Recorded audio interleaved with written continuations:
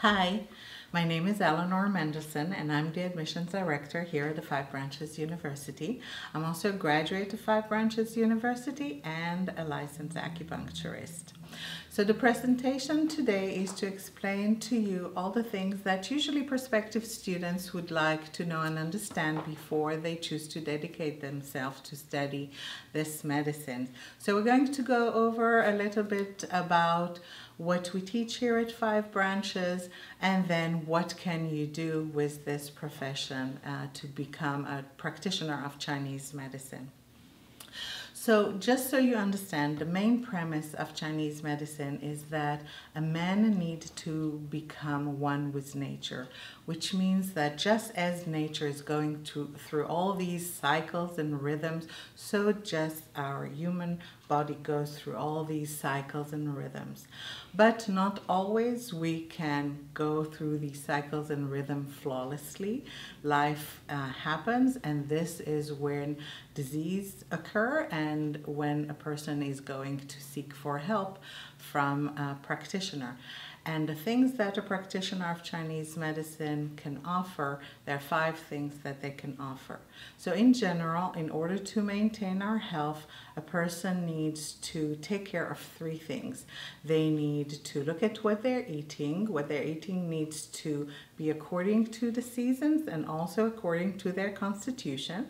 They need to be moving and they need to just take a breath, meditate, and relax.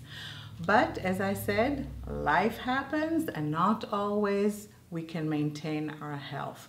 And when things happen, if it's on a more superficial level, on your muscles and bone uh, level, then a practitioner of Chinese medicine can perform Tui Na.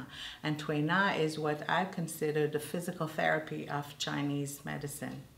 And then if there are things that are a little bit in a state of imbalance more on the energetic level or if the physical things of Tui Na are not enough then of course you can add acupuncture and acupuncture is the insertion of fine needles into specific points on the body and if we're talking about more internal type of condition like cardiovascular, digestive problem, fertility problem, etc., then we would use herbal medicine. And herbal medicine are usually formulas that the practitioner will tailor for your constitution and your symptoms, and you will make it as a decoction and drinking as a tea. And if a person is not willing to do that, then the practitioner can use some other prepared forms, and they comes pills and tinctures and syrups and patches and uh, so on.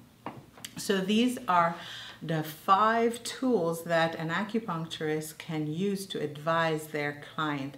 They can advise them on their nutrition, on exercise, on relaxation, on uh, give them treatment with acupuncture, with herbs, and with Tui Na, and hence our uh, name Five Branches University because here at Five Branches you're going to study all these tools that later on are going to be under your scope of practice.